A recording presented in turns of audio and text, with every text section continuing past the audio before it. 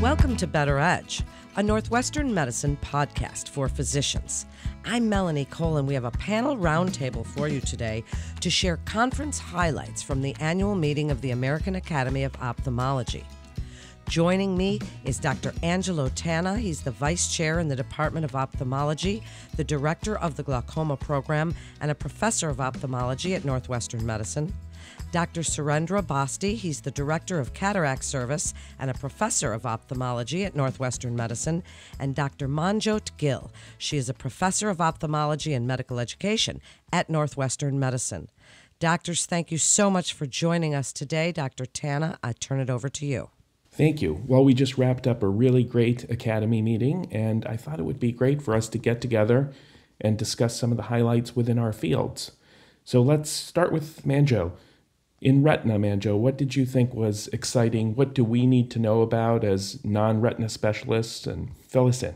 Thanks, Angelo. So, truly was an exciting meeting. We had some really interesting clinical trial phase three results that were presented for the first time. So, I'll go through the first one. Regeneron announced the first presentation of their positive results from two pivotal clinical trials that were investigating novel aflibercept or Eylea at 8 milligram doses. And to remind everyone, uh, standard Eylea that is in current use is 2 milligrams dosed every eight weeks. So this is looking at a higher concentration of 8 milligrams to see if we would be able to extend out the dosing intervals to 12, 16 weeks. So the Photon trial was investigating DME and the Pulsar trial in wet AMD and they were able to both meet the primary endpoint with 8 milligram arm demonstrating non inferiority in vision gains at both the 12 and 16 week dosing regimens. In fact, they found that nearly 90% of patients with DME and almost 80% of patients with wet AMD were able to maintain 12 to 16 week dosing intervals through 48 weeks. And the safety profile was similar to the two milligrams and there were no cases of retinal vasculitis or endophthalmitis. So, this is pretty exciting news, allowing similar efficacy but with extended durability, at least through 48 weeks. And the study is ongoing. So, we'll be down to just a little over three injections a year? Well, that certainly is the goal and the hope. You know, we certainly don't want to compromise our visual acuity outcomes, but at least at the 48 week data, that certainly is indication that up to 80% of patients with wet AMD could be extended out to 12 to 16 week intervals. Does that mean that the patients would not have to come in as frequently, or would they still need to be monitored as frequently as they previously had been? At this point, it looks like they would be able to be extended out safely to that three to four month interval without having to come in between for follow up visit and just would be dosed at those intervals. That's interesting. So, a similar study for geographic AMD reported out on phase three results, and this was the Gather 2 study. And this looked at avacincaptad pegol, which is a pegylated RNA aptamer that inhibits complement. And what they found in this Gather 2 study, which is a prospective randomized sham controlled study that looked at patients with geographic atrophy. And the primary endpoint here was achieved at one year with about a 14% reduction in growth of geographic atrophy versus sham. What they found is that this is the first investigational therapy for geographic atrophy to achieve the 12 month pre specified endpoints with a consistent safety profile in two phase three studies, both the Gather 1 and the Gather 2. So, this was also one of the first phase three studies that was reported out at Academy for geographic atrophy. Should mention that currently we don't have any FDA approved therapies for geographic atrophy. There have been other agents that have been looked at which have shown conflicting results in their two clinical trials. And this is the first one that showed consistent results in both of their phase three studies. So, a whole new way to manage geographic atrophy. Yes, I mean, it certainly is very exciting. You know, at this point, we don't have any therapies to offer these patients. And so it is exciting that there is at least some treatment that is on the horizon for these patients and showing nearly a 15% reduction in the growth of geographic atrophy. This is, I think, a good start and certainly very encouraging. So, uh, put that in perspective for us from a clinical standpoint, from a clinical benefit standpoint. Is that a big effect size? How does that affect quality of life? How impressive are the results? Well, I think the present time we have no known treatments for geographic atrophy. So the fact that we have anything at all to offer patients which can show a delay in growth of the geographic atrophy, where I think that this would have significance would certainly be if a patient had already lost one eye to geographic atrophy and if we could go to a patient and say, we have something that could reduce the rate of growth by 15% over one year, I think that certainly that it is something to consider. Now, this may not be for everyone, particularly if they have good vision in both eyes, but uh, at least this is the start.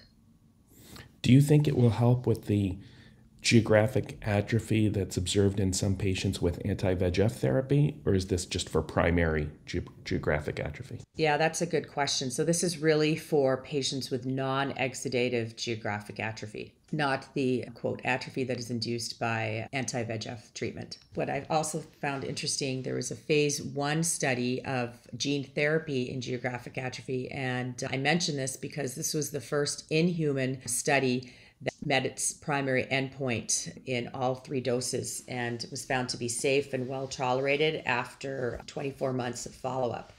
And it was able to show a growth rate reduction at 24 months. Keep in mind, this is a phase one study, but it is the first of its kind for gene therapy. So there certainly are more things on the horizon.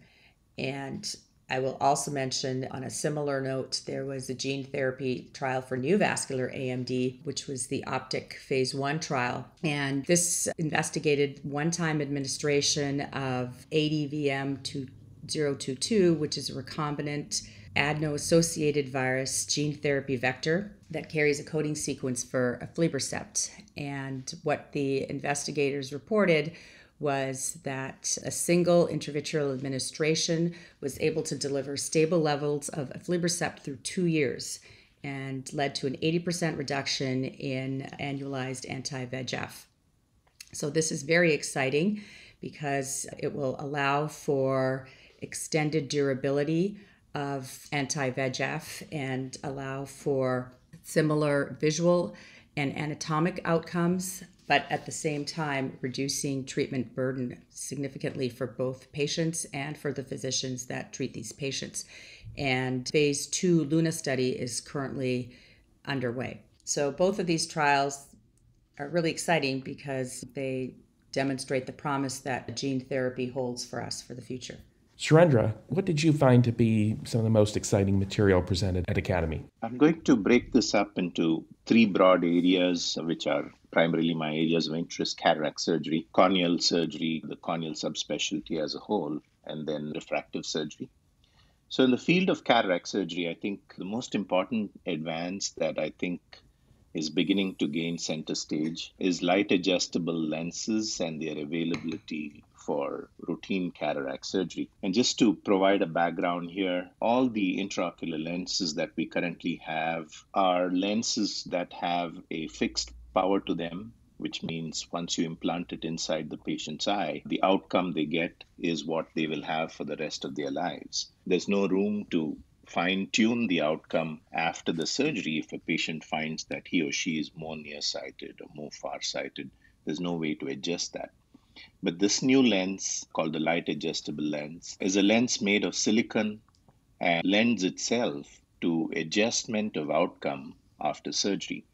So, in that sense, this is a huge paradigm shift in the whole field of intraocular lens that we use in cataract surgery. Having said that, this lens is relatively new. All the reports on the lens that we saw at the Academy were very positive and encouraging. The lens is capable of adjusting the outcome up to about three diopters, which is very significant and the group of patients that really would benefit from this are folks who have cataract surgery after previous LASIK or radial keratotomy type surgical procedures, because this is a subgroup of patients in whom some of the calculations we use to calculate the power of the lens are somewhat inaccurate.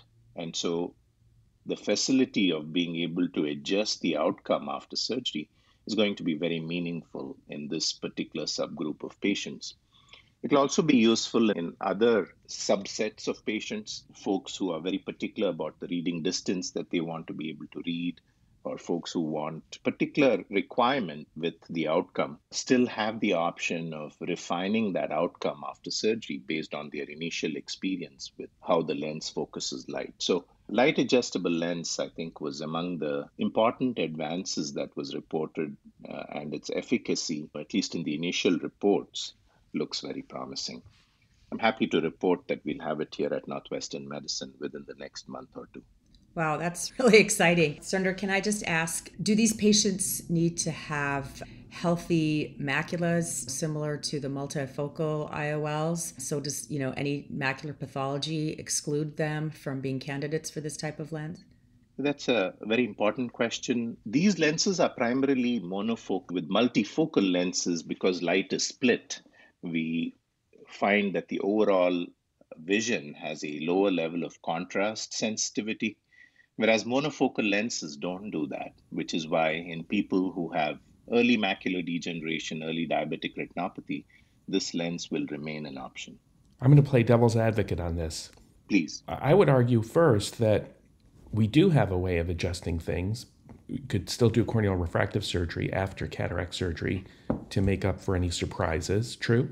True. That is an option available. It just brings in cost and financial considerations, logistical considerations. And uh, the other consideration is that corneal refractive surgery is second best in terms of outcomes. I think if there's a way to get the lens itself to do the focusing, I would say that optically and visually that is the best outcome. However, we have had the option of fine tuning with corneal refractive surgery, Angelo. That's accurate. And how long is the window of opportunity for making adjustments after implantation of light adjustable IOLs? It's up to four months. The option very much remains up to about four months after the cataract surgical procedure. However, folks who have this lens understand how the process is after surgery, and typically the process involves a first visit approximately 17 days after implantation to really determine the outcome and the patient's satisfaction with it and any needs they may have in terms of getting the focal point to be further out or further in. So, some of those specifications they provide the surgeon on day 17, and a couple of visits thereafter, there's opportunity to adjust the lens optically using light and determine if the outcome is to the patient's satisfaction. So, between day 17 and week six, there are a minimum of three visits for the patient, Angelo. So it, it's surely something that involves more patient visits. And the adjustments usually done in that period. However, your question is relevant because surgeons are beginning to see the value of this lens, even in triple procedures, like we call them, when we do cornea transplants for Fuchs dystrophy, for instance. These days, we're doing the DMEK corneal transplants, where the vision outcomes are exceptional from a corneal standpoint. So, when cataract surgery is combined with DMEK, a study from Dr. Price's group in Indianapolis reported outcomes of using the light adjustable lens. And uh, in a DMEK situation, you can't adjust the lens in the first month because the cornea is still settling in. And typically, in those instances, you want to adjust a couple of months out. And that's where the report was that the adjustment can be done up to four months after the implantation. And what do we know about the duration of time after cataract surgery that there continue be, to be changes in the capsular complex that could shift the position of the IOL, particularly a silicone IOL? Yes, again, very relevant and important question.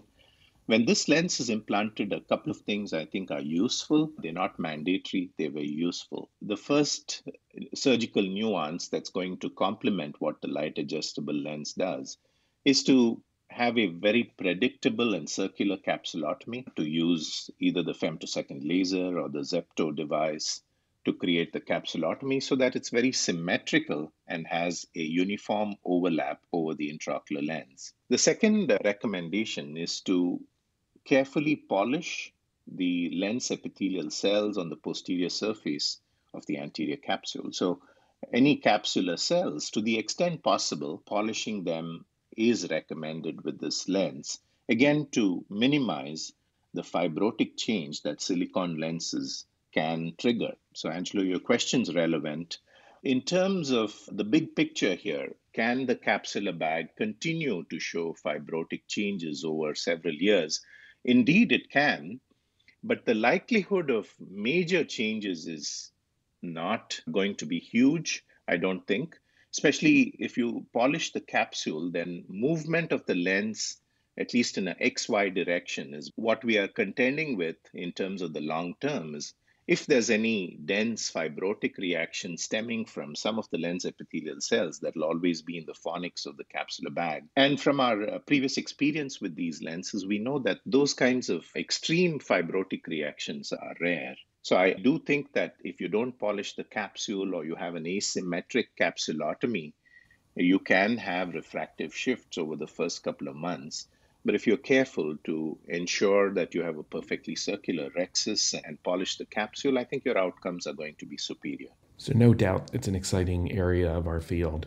Right. In terms of other exciting things that we saw at the Academy, I think a common thread that emerged is that many of the devices and investigational tools that we use to determine the power of the intraocular lens, I'm seeing a steady movement of technology in a direction where various technological devices are integrated so that the surgeon has all of them coming together in one software so that he or she can make decisions that are optimal for the patient. For instance, what is emerging is a new phacoemulsification device called the Quatera from Zeiss.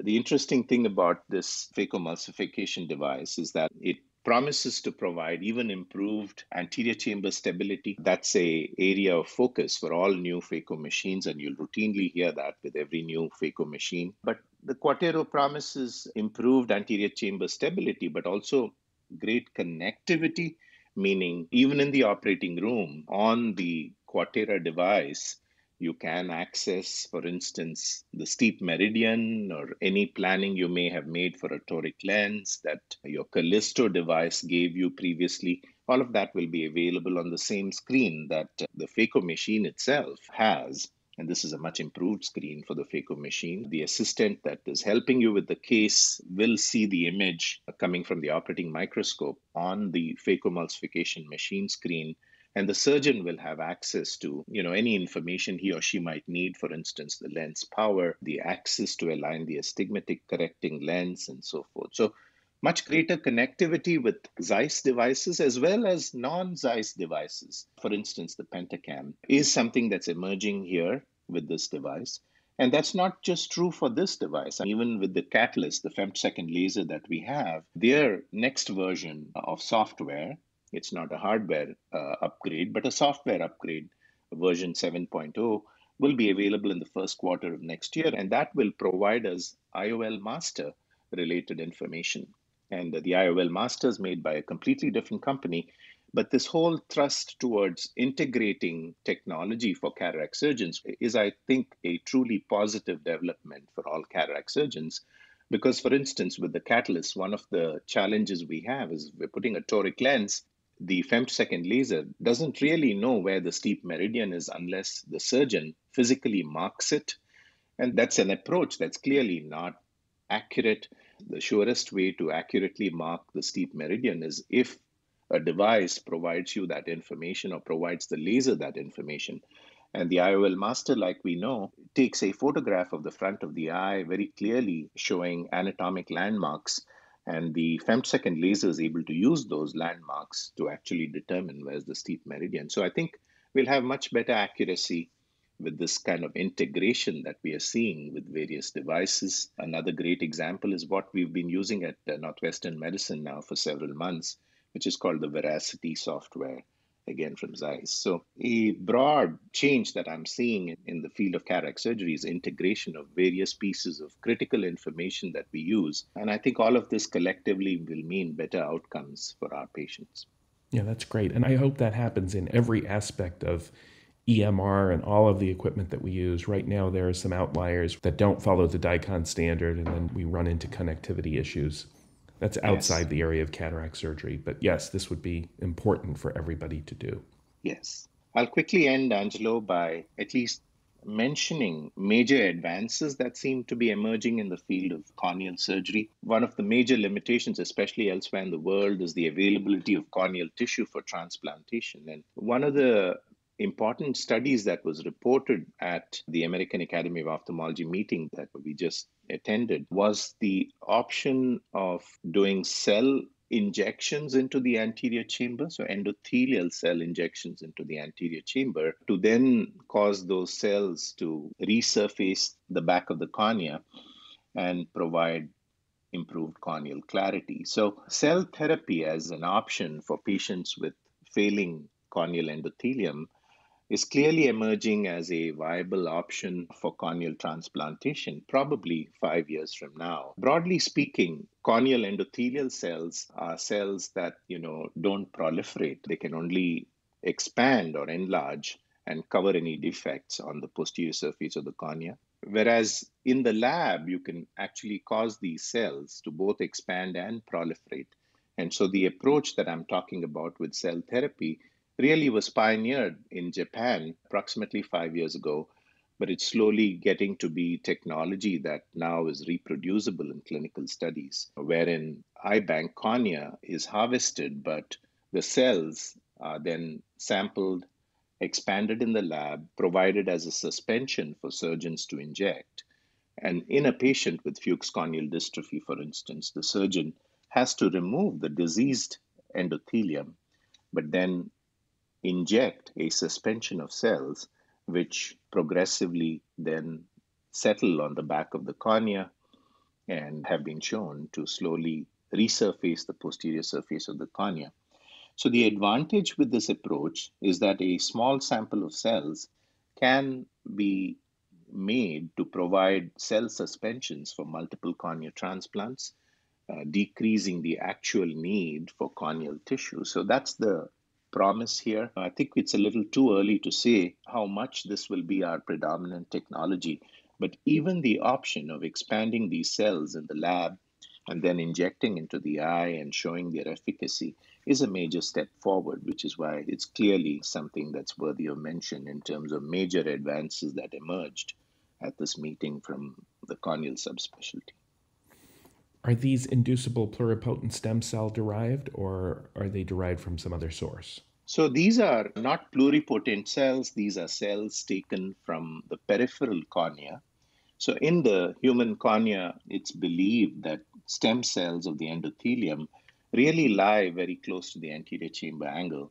And these are cells that have refined from pluripotent stem cells into the lineage that leads to endothelial cells. So these are clearly downstream from a pluripotent cell, but cells that are already thought to be stem cells of the corneal endothelium. So those are the ones that are used in the lab to expand and then be provided for a cell therapy. I see. That's why you would need to get tissue from one source for multiple recipients. Correct. It's really interesting and exciting. The Holy Grail.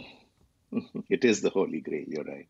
Well, I want to highlight one really important glaucoma paper that really should trigger a paradigm shift in how we manage patients with ocular hypertension and open angle glaucoma. So I think most people are familiar with the LIGHT clinical trial that was conducted in the UK. The three year results were published in Lancet in 2019. And at Academy, we just heard the six year outcomes.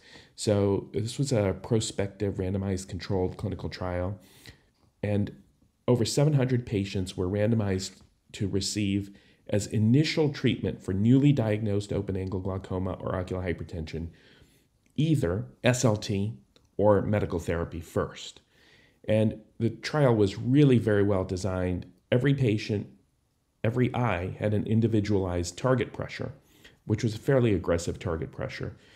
And it turns out that patients treated with SLT first had much better outcomes than patients treated with medication first. There wasn't really much of a difference in the three year outcome data. But with six years, we now know that among the people who underwent laser first, about 70% of them remained well controlled at six years, not requiring any medication. So eye drop free. But what's even more exciting and important, I think, is fewer eyes with ocular hypertension who underwent SLT first progressed to developing open angle glaucoma. The absolute difference wasn't very large 20% versus 27%, but was highly statistically significant. And even more importantly, fewer patients who underwent SLT first had progression of their glaucoma, and fewer patients who had laser first required a trabeculectomy, both statistically significant results. So, for the first time, I can clearly say to my patients with newly diagnosed open angle glaucoma or ocular hypertension that we have very strong evidence from a prospective clinical trial that SLT first is the superior method of treatment. And I think now we're really obligated to offer this first. And I think this is a paradigm shift for us. Wow, clearly represents a huge change in thinking. We always thought that starting an eye drop first was a relatively easy way to ease someone into the treatment of glaucoma, but the uh, results of the study, Angelo, are truly indicating that's not the direction to take. Yeah, that's right. And the six year results are published ahead of print. It will appear ultimately in ophthalmology in print, but the whole paper is available to look at right now. And what's really interesting also is the difference in the outcomes for newly diagnosed patients who are initially treated with laser. The incidence of IOP spikes was very small. Only, I think, two patients perhaps had an IOP spike in the course of the study. Also, some patients required repeat laser treatment, and it was effective. So we have even stronger evidence now, although I think it was very clear before, that repeat SLT is efficacious. So, again, a real game changer for our field. Definitely agree. Before we wrap up, is there anything else, any other important information or learnings from this year's AAO annual meeting that you would like your colleagues who may not have been able to attend to know about?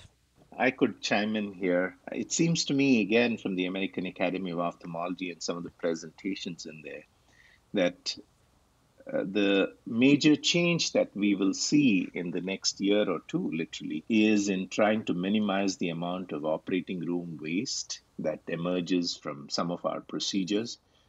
So, over the past 20 years now, especially in the United States, we've been using a lot of disposables, and it's becoming increasingly clear to all of us that uh, we have to be responsible in how we use disposable supplies, at least from an environmental standpoint. And it's been shown now that cataract surgery, unfortunately, is a major contributor to operating room waste. And uh, the American Academy of Ophthalmology, the American Glaucoma Society, the American Retina Society, Cataract Refractive Surgery, every society now has made that an important priority to try to come up with protocols that will minimize operating room waste.